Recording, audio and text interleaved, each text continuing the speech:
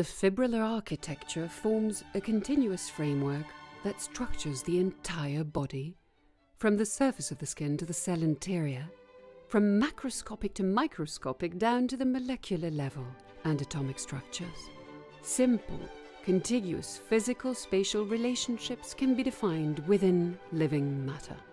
They determine a structured, continuous form that can be represented, drawn, and schematized. This ties in with the concept of a body wide matrix.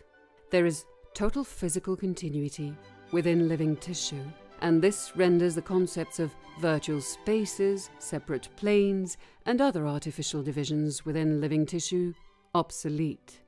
We are looking at a continuum of living matter.